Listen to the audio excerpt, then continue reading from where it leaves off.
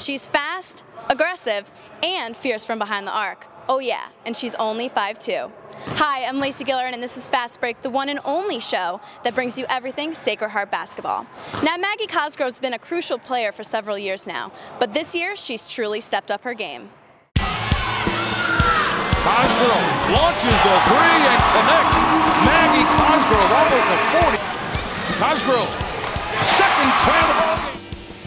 Maggie Cosgrove is a junior from Andover, Massachusetts. She has always loved basketball and is now living her dream of playing in college. Um, I've played pretty much all my life, but um, I really started playing when I was in sixth or seventh grade.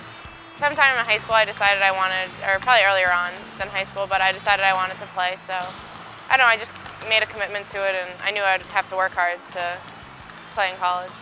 Well, Maggie's uh, the, the ultimate overachiever. You know, I, I, I say this over and over again, but uh, um, you know, the reason, one of the reasons why we recruited Maggie was uh, uh, because of her work ethic. Well, I don't really know how to play any other way, I guess. I mean, um, if you're not going to win, then let's try to win at least, then what's the point? Maggie's hard work and determination not only showed on the court, where she led the country for many weeks in three point shot percentage, but also to her teammates. Maggie's just a really good leader. She always gets everyone fired up. She's obviously very talented, but if there's a loose ball, Maggie's going to get it. I would describe her as the backbone of the team.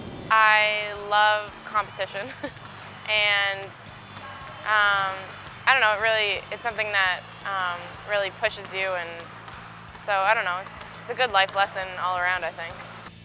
With her fierce three-point shot and dedication, it was not hard to see why Coach Ed Swanson wanted her on his team we knew um, firsthand how how much basketball meant to her and how much. And, and, when you're five foot two, it better mean something to you because there there aren't a lot of. I mean, you you walk into our gym, uh, you know, for games, you don't see many people at five foot two playing on our floor. Um, I don't know. I feel like everyone always asks me about it. So I mean, I think it's more of an issue for not an issue, but something other people focus on. Where I mean, I've always been this site, so I don't know any different. I still think Maggie Cosgrove's best basketball is ahead of her in regards to, you know, she had a tremendous year last year, but she is filling up and stepping into more of a prominent, you know, star role for us. Through practice and perseverance, Maggie Cosgrove has once again proved it's not the size of the dog in the fight, but the size of the fight in the dog. I'm Lacey Gilleran, and this has been Fast Break.